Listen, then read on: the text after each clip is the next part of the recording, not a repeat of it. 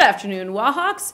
It's Tuesday, January 15th, and we celebrated National Hat Day on Saturday, but we didn't want to miss out on all the fun. So while we cannot wear hats during the school day, we'll be trying on a few doozies while we give you the news, in the hopes that you'll remember to put your favorite hat on later today. Any students interested in working on a VPA crew for this year's production of The Wizard of Oz should plan to attend an informational meeting a week from tomorrow on Wednesday, January 26th from 2:30 to 3 p.m. in the auditorium. We have lots of crew positions to fill from spotlight operators to painters to set builders to hair and makeup artists. There is something for everyone. Come and check it out.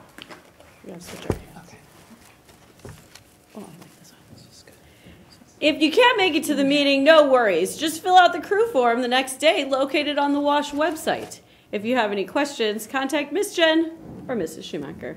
Today's staff spotlight is Washington's life coach, Miss Ashlyn. A professional goal of hers is to become a licensed independent social worker. Some fun facts about Miss Ashlyn are that she thinks spiders are adorable and would love to have a pet tarantula, but instead she has four dogs. When asked what advice she would give to her middle school self or to our GWMS students, she said to build meaningful relationships with more caring adults to create a powerful support system for yourself. There are some amazing LEAP activities that you could participate in the month of January. New to the LEAP lineup is yoga. This playful yoga class is designed to give teens tools they can use to reduce stress in their lives, promote positive mindfulness, and increase strength and flexibility. Each class will include a series of poses, breathing exercises, and meditation practices. Make sure to sign up outside of the principal's office for all LEAP activities. Vacation. Ooh.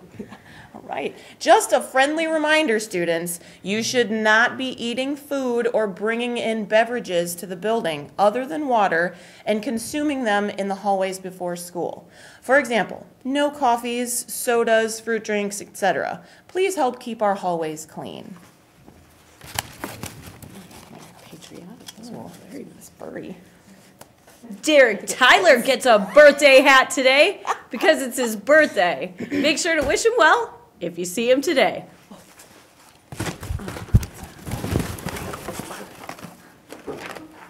And now for the thought of the day.